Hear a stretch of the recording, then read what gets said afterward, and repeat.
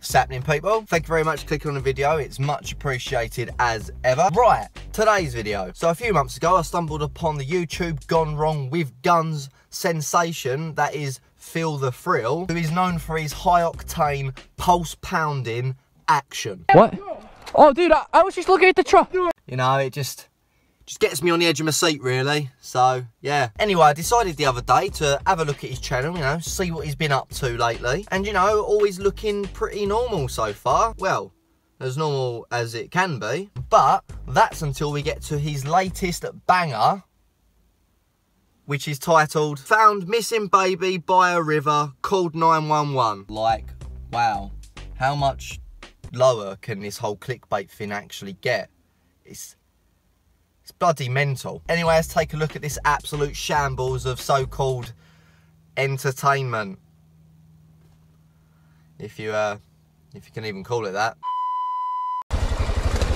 Jimmy, the trail ends there. We can't go. And that's all for today's video. Imagine that. Well, I mean, it would definitely save me sitting here having to sit through all these um, entertaining videos, which, uh, you know, would probably be doing me a favour. You see that? What? What is that? What are you? God bloody hell, mate. Do you want to point one more time? I'm not sure we saw that. Ah, uh, nah, shouldn't shouldn't really take the piss. I mean, he's he's obviously suffering from Tourette's, which you know, is pretty serious stuff. It must have floated downstream came uh, down the waterfall while the uh, tide was high and the water was strong because it rained last night.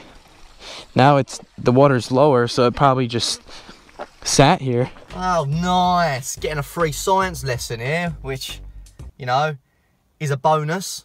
How do we get this? Oh, I don't know. Be careful. You might have to tread in that two inches of water. Bloody hell, I think we've stumbled upon YouTube's answer to bloody Evel Knievel. It's pretty heavy. Yeah, oh, dude, easy. Be careful with it. It's heavy. We don't know what's in it. It could be something dangerous. Well, that was the most unnatural line ever. Like, and surely if it was something dangerous, well, whacking it on a rock, you know, might help matters. Oh, quickly, bearing in mind that he uh, obviously knows what's in the box, you know, because he come up with a video idea. Some of the things they do and say to, you know, make the viewer believe that it's real is, well, it's quite worrying. Really? For example. How are we going to open it? I want to know what's in it. Bash it on some rocks or something. Bash it against the rock? One. Oh, don't. Oh, wait. For fuck's sake. Just beat the heck out of it. Maybe it will open. Can you read it? Yeah, I'll read it. With sadness, I'm writing this letter because I can no longer take care of her. I thought this could be the best way to give her a new life and home please take care of her. Is it like a dog? It says it's a it's a her. Her or something. That means it's a dog. Oh yeah, I mean her definitely means dog. Everyone knows that. Bloody hell. But I like how the same time they weren't like, Oh my god, we like totally whacked it on a rock and stuff. God, hope it's alright, feel well bad. No concern or anything, so yeah, just makes it more believable really. Either that or he's a bloody psychopath. You think there's something alive in there? How is it going to breathe if it's alive? well, I mean, you just kind of like debunked your whole video there, so done me a favour. That's what they they filled it with helium. Yeah, it looked like it popped, bro. Yeah, they, it popped. That's why it fell.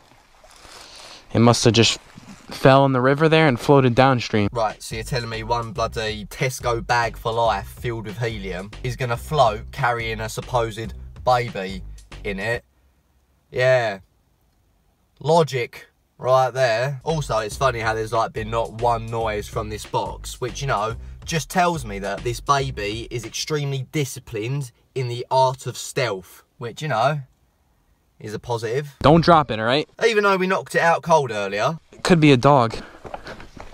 Whoa. Careful, careful. For fuck's sake. Yeah most natural fall I think I've ever seen. Once again though, I'm more disturbed at the fact that he knows what video he's making. Like, it just makes this a bit more, bit more messed up really if you kind of look between the lines and all that. What bloody people do just for money and views and all that jazz. You gotta... Yeah. Just be careful with it. Throws it five foot away from him. Oh, be careful. Fuck's sake.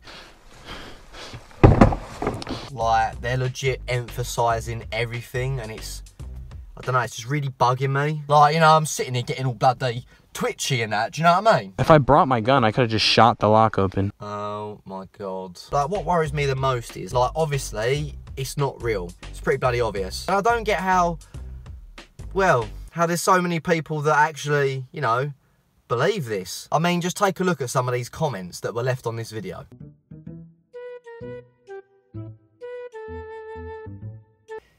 It just bloody boggles my mind. Anyway, back to the video. After that, he makes his way home with, you know, the baby strapped to the back of his quad bike.